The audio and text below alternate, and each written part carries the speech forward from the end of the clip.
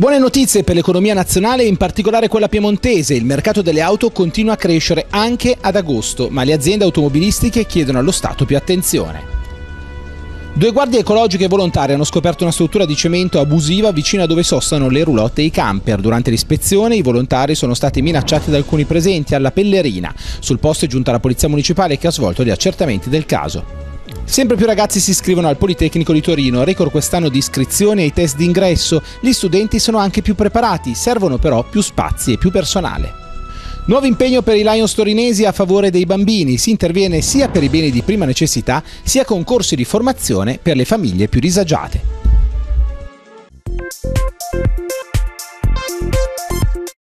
Il mercato italiano dell'auto continua a crescere anche ad agosto, ma rallenta. Le immatricolazioni, secondo i dati del Ministero delle Infrastrutture e dei Trasporti, sono state quasi 60.000, in crescita del 10,65% rispetto allo stesso mese 2014. Negli otto mesi del 2015 sono state vendute un milione di auto, il 15% in più dell'analogo periodo dell'anno scorso. Anche questa volta fa meglio del mercato Fiat Chrysler con 16.700 consegne nell'ultimo mese, il 12,67% in più dello stesso mese 2014. In aumento le vendite di tutti i brand Jeep, Renegade, Alfa Romeo, Lancia e Fiat. Nel mese sono ben 5 i modelli del gruppo tra le top 10.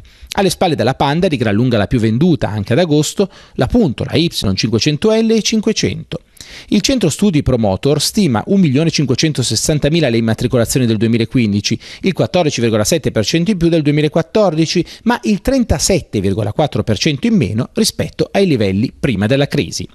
La ripresa c'è, ma rispetto alla prima parte dell'anno si nota un rallentamento, soprattutto se si considera che nel mese appena chiuso c'è stato un giorno lavorativo in più rispetto allo stesso mese 2014. Agosto è però un mese atipico, spiega il presidente Gian Primo Quagliano. Occorrerebbe che il governo assumesse iniziative per favorire la ripresa, afferma, e ciò a vantaggio non solo dell'economia e dell'occupazione, ma anche della sicurezza della circolazione stradale e dell'ambiente. Dal palazzo non giunge però alcun segnale.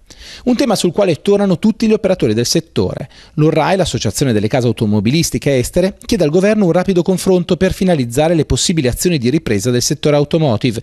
Per Federauto resta un moderato ottimismo, ma per famiglie e imprese la priorità è la fiscalità sull'auto.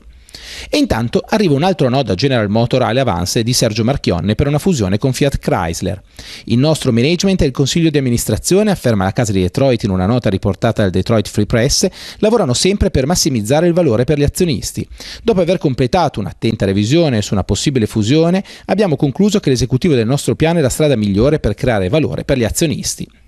Il no è l'ennesimo, ma la casa americana fa qualcosa in più, rilancia sul fronte degli azionisti e afferma che il suo piano è la strada migliore per creare valore. La Fiom intanto commenta il paese non fa sistema e Marchionne va avanti da solo e trova porte chiuse.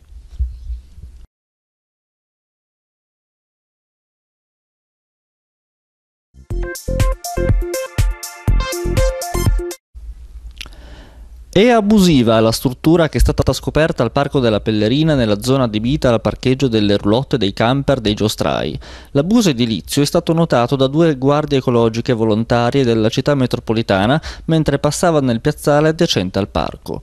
La Pellerina è da sempre il centro principale di ritrovo dei giostrai che sostano abitualmente a Torino. Ogni anno il parco ospita Luna Park che attrae sempre molte famiglie.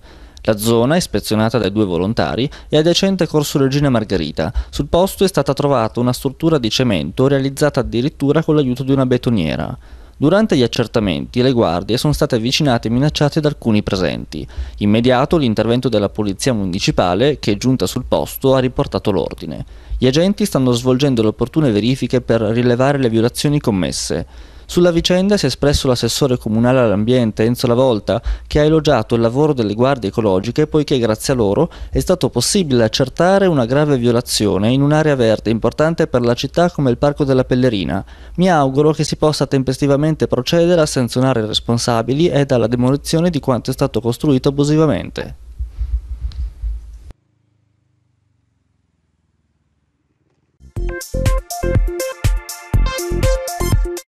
In un momento che ancora vive le difficoltà economiche e la carenza di lavoro, il numero degli aspiranti ingegneri continua a crescere. Al Politecnico di Torino si parla di un più 5% rispetto allo scorso anno nelle immatricolazioni, passando da 8.000 preiscritti del 2014-2015 agli oltre 8.400 di quest'anno. A questi si aggiungono più di 2.000 preimmatricolati dell'area dell'architettura, superando per la prima volta i 10.000 ragazzi iscritti ai test del Politecnico. Per ingegneri, il numero dei preimmatricolati provenienti da regioni italiane diverse dal Piemonte oppure dall'estero continua a essere superiore rispetto a quello dei residenti in Piemonte. Sono il 60% e provengono dalle regioni storicamente più legate all'Ateneo come Puglia, Sicilia, Sardegna, Liguria e Calabria.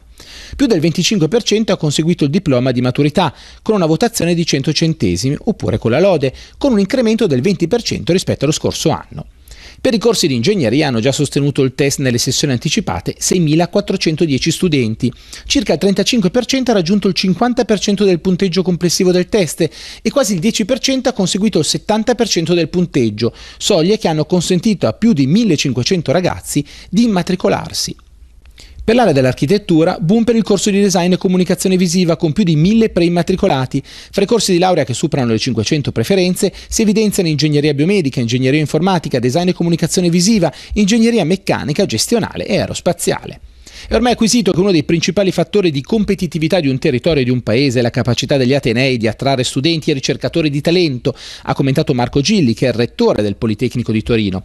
Il numero complessivo di preimmatricolazioni, mai raggiunto prima, l'elevata percentuale di studenti provenienti da altre regioni italiane oppure da sedi estere, il sensibile miglioramento degli esiti dei test di ammissione sono indicatori importanti per valutare la qualità della nostra scuola e le politiche sull'alta formazione che stiamo attuando coerentemente con il nostro piano strategico. Tutto questo però pone un problema. Per rispondere alla crescente richiesta di alta formazione che proviene dal sistema socio-economico, sono necessari spazi supplementari da destinarsi ad aule e laboratori e risorse umane aggiuntive. Nei prossimi anni, dice ancora il Rettore, senza lo sblocco del turnover e l'attuazione del progetto di potenziamento delle sedi universitarie che stiamo sviluppando con la città di Torino e con la regione Piemonte e che auspicabilmente avrà anche il sostegno del Ministero, il Politecnico ai fini di garantire l'alta qualità della propria offerta formativa si vedrà costretto, suo malgrado, a limitare ulteriormente il numero di ingressi.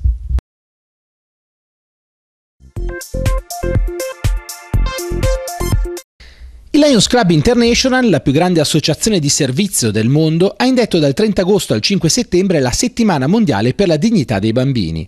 A questo proposito un gruppo di 20 Club Lions di Torino e provincia, già attivo da tre anni con un progetto Bambini Nuovi Poveri, che ha come fine quello di supportare famiglie in stato di disagio con bambini in tenera età per mezzo della donazione di beni di prima necessità, annuncia due importanti accordi di partnership con la Fondazione CRT e con il Comune di Torino. Il primo coinvolge Club Lions appunto e l'associazione Ulaop Ollus nel progetto Banco del Sorriso, nato per aiutare a risolvere le difficoltà materiali delle famiglie con bambini da 0 a 6 anni, cercando di ridurre il disagio e promuovendo il valore della condivisione e dell'aiuto reciproco. Proprio in settimana sarà infatti consegnata dal Lions una prima tranche di oltre 20.000 pannolini che saranno poi distribuiti a chi ne ha più bisogno. Il secondo progetto, in collaborazione con il Comune, ha invece come obiettivo la progressiva e ulteriore diminuzione del numero di minori inseriti in strutture residenziali in seguito all'allontanamento delle famiglie d'origine. Attraverso equipe multidisciplinari di professionisti dei diversi servizi del territorio e del privato sociale, le famiglie vengono guidate in percorsi creati per migliorare la situazione generale e soprattutto il rapporto con i minori, rendendo così possibile la sospensione dei provvedimenti di allontanamento da parte delle autorità. Il ruolo del Lions è quello di supportare e risolvere con la snellezza operativa che li contraddistingue alcune situazioni critiche delle famiglie e dei minori coinvolti nel progetto, contribuendo così in modo significativo a creare un clima di maggior sollievo nell'immediato e fiducia nel futuro.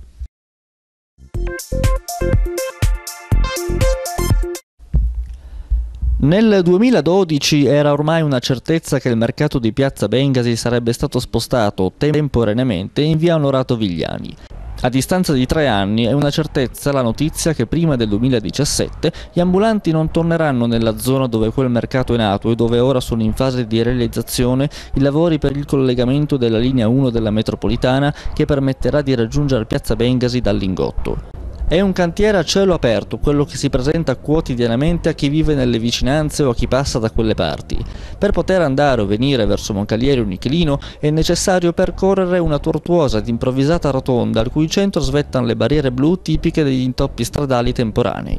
Il rumore delle macchine è assordante e percorrendo il perimetro del cantiere la sensazione è quella di essere nel bel mezzo di un terremoto. Inoltre i lavori creano non pochi disagi tanto alla circolazione quanto ai pedoni. La trasformazione della piazza, spiegava all'epoca Marco Novello, presidente della decima circoscrizione, rappresenterà un'opportunità di valorizzazione del quartiere. Gli ambulanti che hanno traslocato dall'altra parte del cavalcavia di Via Vigliani sembrano essersi messi ormai il cuore in pace. La zona in cui si trovano ora ha creato non pochi problemi quotidiani, ma comunque i commercianti non si scoraggiano. Il lavoro continua, anche se, come spiega Dennis Andreolli, presidente della commissione di mercato, la clientela si è drasticamente ridotta. In circa tre anni c'è stato un calo del 50% che in alcuni casi ha toccato il 70%. Il motivo è ovvio, Via Vigliani è sprovvista di un servizio di mezzi pubblici adeguato che consentano ai cittadini di raggiungere le bancarelle. In queste circostanze la crisi economica non è annoverata come il solito motivo verso cui si punta l'indice, anzi, come afferma ancora Andreolli, molte attività commerciali hanno aperto proprio grazie all'arrivo del mercato. Esiste inoltre un grosso problema legato invece alla disposizione dell'area ed alla situazione che si crea in caso di brutto tempo. Il mercato è in pendenza, ciò comporta la formazione di un vero e proprio lago che rende la zona un acquitrino. I problemi che ne conseguono sono immaginabili. La questione è giunta più volte a Palazzo Civico. Gli enti competenti hanno fatto sapere che l'obiettivo è cercare di far tornare il mercato in piazza Bengasi il prima possibile, cioè quando saranno ultimati i lavori per la metro. Nel frattempo questa situazione di stallo non comporta soltanto problemi logistici o di collegamento, gli ambulanti a causa degli elevati costi del calo di utenza si ritrovano con l'acqua alla gola. Nonostante abbiano più volte sollevato questa delicata questione, il comune, dicono gli ambulanti, non ha mantenuto le promesse legate agli sgravi fiscali. I mercanti, per ora, comunque resistono.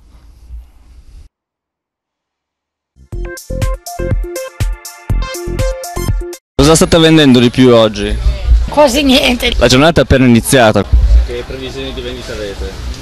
Speriamo buone. Dovreste... Visto che oggi non fa tanto caldo. Non dovreste essere in piazza Bengasi voi? Certo, vabbè adesso fra due anni dovremmo ritornare. Fra due anni, 2017? Sì. È già, già deciso? È già... Ma così dicono. Che qui è un disastro sto mercato qui, eh? Come mai? Cos'è che non va?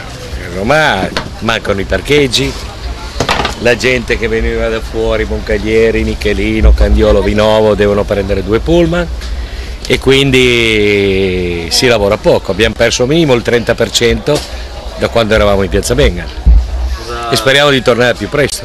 Speriamo intanto che l'economia si riprenda, perché quella è la base.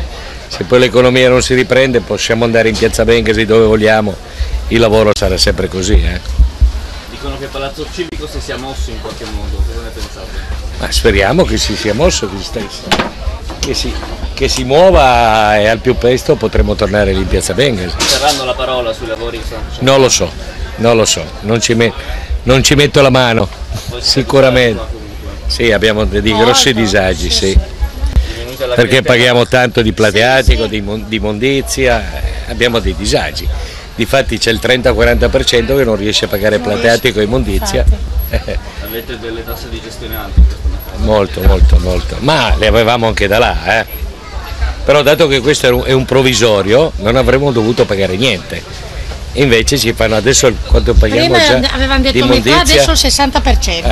Eh, e di immondizia siamo già quasi 4,8, 4,7 sì, all'anno. Sì. Poi c'è 2,5 di plateatico e siamo 7.000. È il comune che decide, mica noi. Eh. Poi non è giusto perché tutti i mercati provvisori non hanno mai pagato le spese di immondizia plateatico. Perché dobbiamo pagarle noi? I clienti vogliono che torniamo di là, tutti. Chi abita qua vicino preferisce che stiamo qua. Poi comunque al mercato parte. quando piove qua fanno le, ci sono delle pozzanghere enormi e la gente non viene anche per se piove un po'. Oramai rimane così. È fatta male subito, subito, subito. No, rimane non, così. Le buche non sono venute dopo, subito, appena fatto. Ah no, non gli ha dato l'avvallamento che si deve dare un mercato. Lavori, Invece di fare, di fare, il pavimento in questa, in questa maniera l'hanno fatto così e l'acqua si ferma sempre qua. E ci sono dei posti dove c'è tanta acqua così quando piove e quindi la gente quando piove non viene volentieri. Eh. I clienti cosa ne pensano? Ci andiamo proprio male. Se ognuno, ciascuno facesse la sua parte eh, si andrebbe meglio, invece no. Se ci mettono un po' di buona volontà ma bisogna averla. Come sta andando oggi? Eh, poca roba. A questo periodo è sempre questo, fino a settembre. Eh, qua piace bene, torniamo lì, meglio di qua. Sì, fra due anni torniamo di là, però speriamo di sì. Esisterete da qua due anni? Eh, certo, eh, già adesso tre anni o quattro anni, adesso tre anni di qua. Per il cliente non va bene lo stesso, tanto vicino, non è lontano. Basta c'è l'altro mercato davanti, il pullman lì vicino. Magari 2007 era meglio di prima.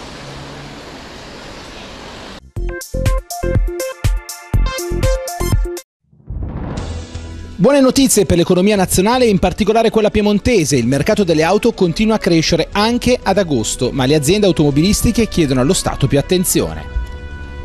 Due guardie ecologiche volontarie hanno scoperto una struttura di cemento abusiva vicino a dove sostano le roulotte e i camper. Durante l'ispezione i volontari sono stati minacciati da alcuni presenti alla Pellerina. Sul posto è giunta la Polizia Municipale che ha svolto gli accertamenti del caso.